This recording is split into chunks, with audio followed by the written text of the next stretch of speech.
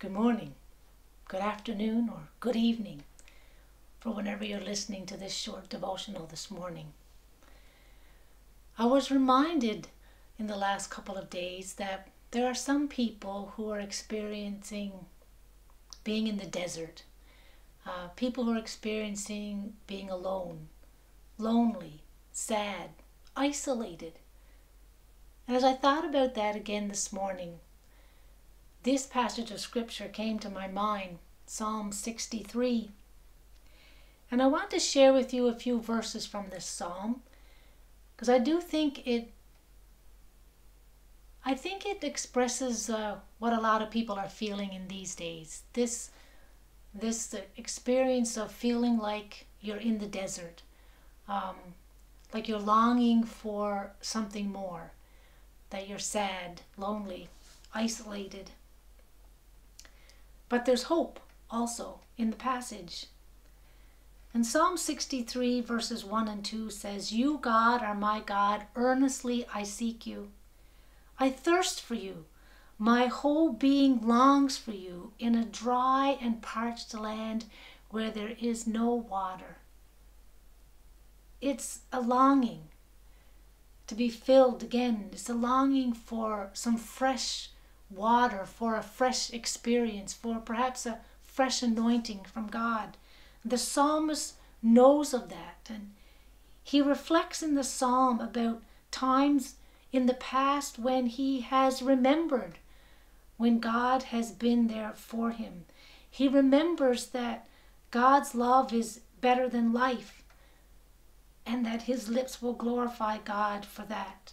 He remembers in times of loneliness and isolation.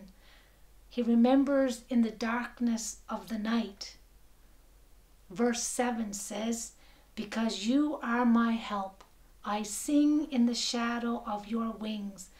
I cling to you, your right hand upholds me.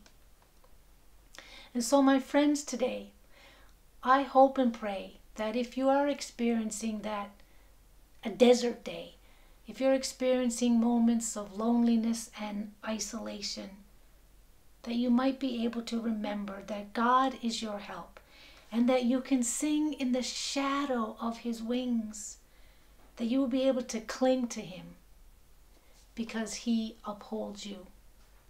And I also want you to remember that God sees you. God sees me and God sees you. He knows what you're experiencing today. And there's a beautiful song. It's a long song. It's called The God Who Sees.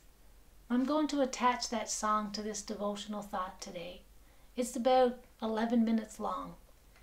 If you have time to listen to it as you after you listen to this short devotional thought, I encourage you to do so. If not, perhaps some other time today, you'll just be able to sit in the quietness and listen to that song and remember that God sees you.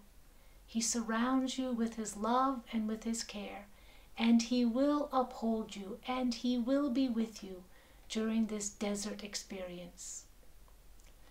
So, know, my friends, that I pray for you. When people come to my mind, as God often brings people's names before me, I pray for you. And so, if God brings you to my mind today, I'll pray for you. May you be encouraged today. God bless you.